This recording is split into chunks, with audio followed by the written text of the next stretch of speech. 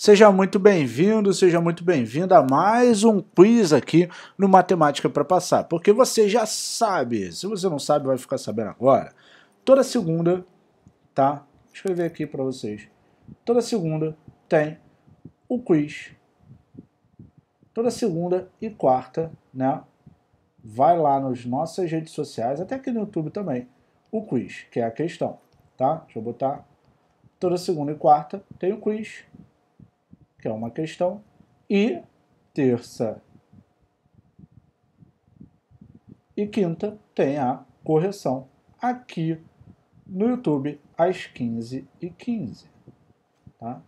Aqui às 15 e 15 beleza? Terça e quinta, correção 15 e 15 aqui no nosso canal no YouTube. Então não perca, já fica anotado. O quiz de hoje é de equivalências lógicas para PCDF edital que saiu ontem e você já está aí, meu irmão, já está se preparando para PCDF, então vem com a gente preparar mais ainda, vem comigo, vamos falar. Opa, deixa eu ajeitar aqui.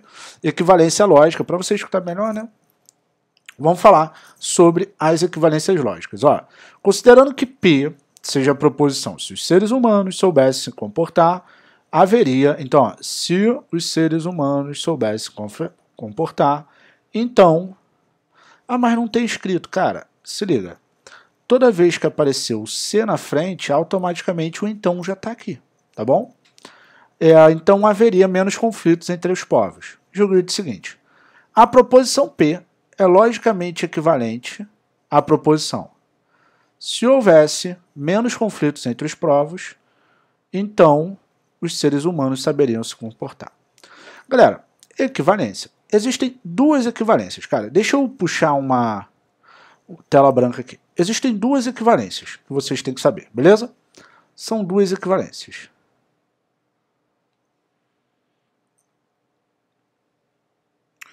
Existem várias, mas duas equivalências vocês têm que saber para o dia da prova.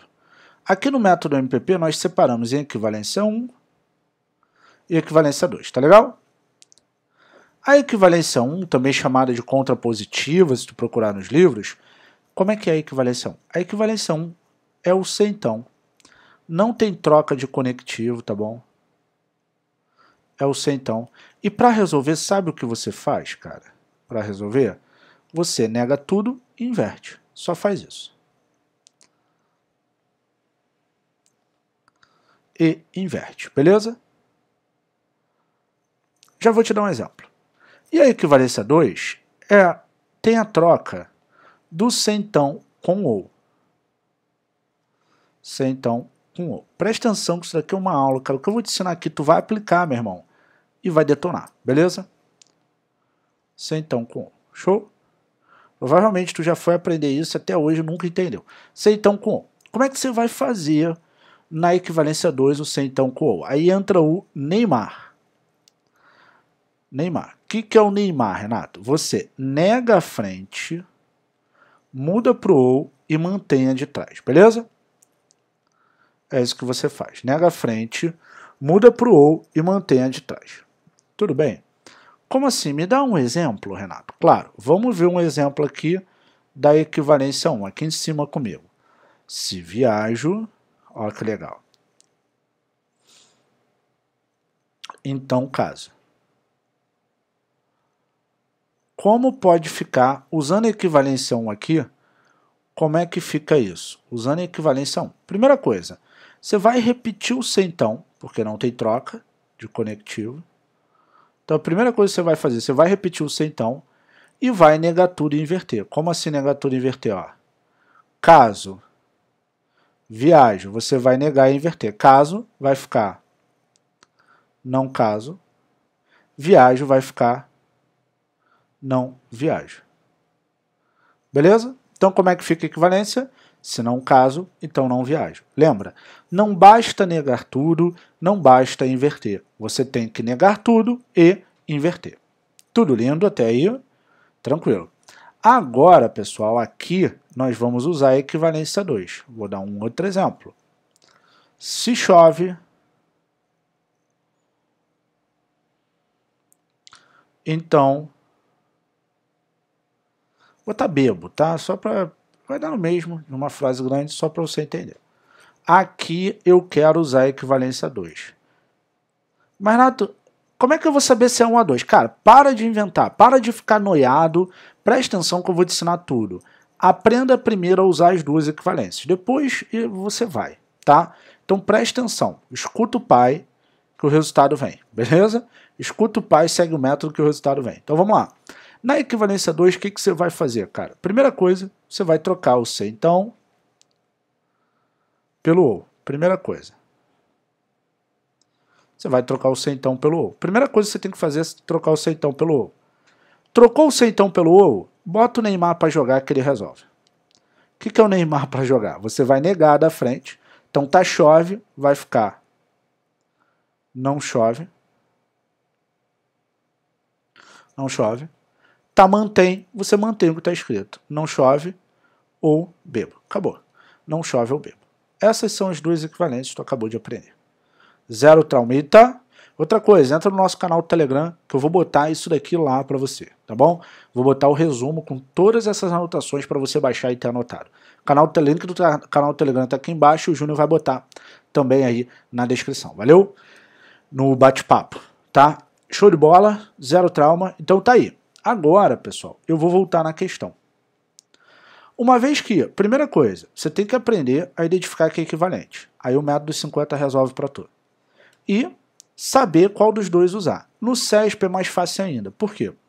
Uma vez que você conhece as equivalências, você sabe que uma equivalência é só centão e a outra tem a troca do centão com ou e vice-versa. Nessa questão, aquele deu eu tenho centão e aquele falou que é também tem o centão. Então, eu só posso ter que usar aqui a equivalência 1. Beleza? Tem que usar a equivalência 1 nesse daqui. Deixa eu abrir aqui, botar aqui a... Deixa eu botar aqui a frase aqui embaixo, que aí fica mais fácil pra gente, pra eu te explicar, tá bom? Botar a frase aqui para baixo, rapidinho. Quem sabe faz ao vivo. É isso aí, essa é a parte boa. Então aqui, vamos lá. Como é que você vai resolver usando a equivalência 1 aqui? C, então que, que você tem que fazer? Negar e inverter. Ó.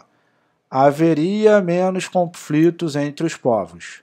Tem que vir para frente o quê? Se haveria ou houvesse, né? Então como é que ficaria? Se houvesse. Se não houvesse, né?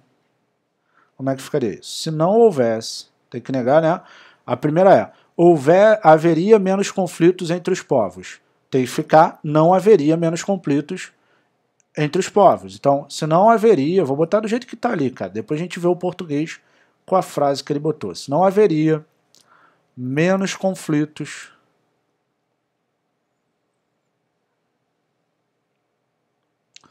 entre os povos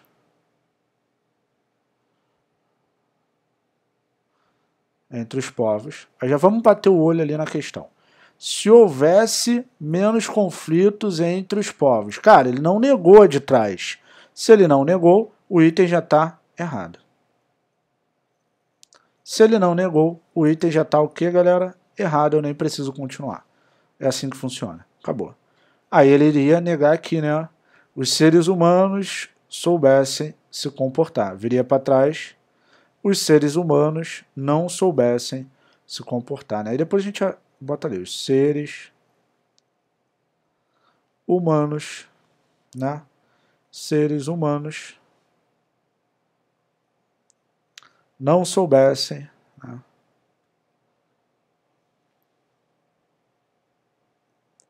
não soubessem se comportar. Ficaria assim. Seres humanos não soubessem se comportar. Então, a equivalência ficaria se não houvesse menos conflitos entre os povos, então os seres humanos não saberiam se comportar. Ficaria assim. Tá adequando para a frase, eu só mudei ali. Beleza? E o que ele afirmou? Se houvesse menos conflitos entre os, povos, entre os povos, então os seres humanos saberiam se comportar, não saberiam. Então, o correto se deveria ser o quê? Se não houvesse menos conflitos entre os povos, então os seres humanos não saberiam né, se comportar. Não soubesse, eu só botei ali igual a frase. Por isso que o item está errado. viu a importância, lembrando que o não haveria aqui é substituído por houvesse.